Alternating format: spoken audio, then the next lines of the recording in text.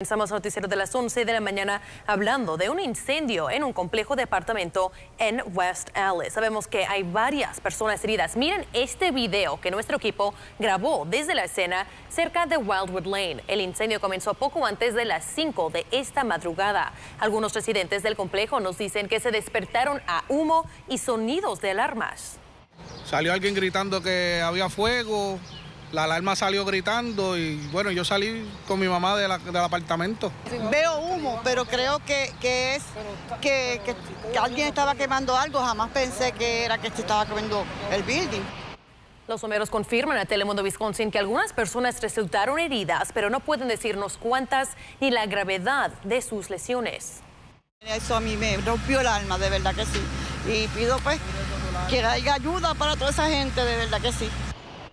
Aún se desconoce cómo empezó el incendio. Se ha llamado a la Cruz Roja para ayudar a los desplazados, pero no se sabe cuánta gente se ha visto afectada. Claro, tendremos más detalles sobre esta noticia en los próximos noticieros y en nuestra página web.